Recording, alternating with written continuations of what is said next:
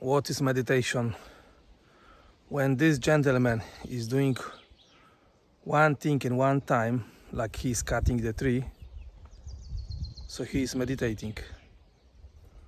Like when you drink you drink. When you walk you walk like a buddha way.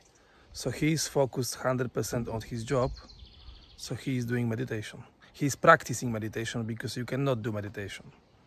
If you if you try to do meditation you will finish in madhouse so meditation is like awareness 100% in the action.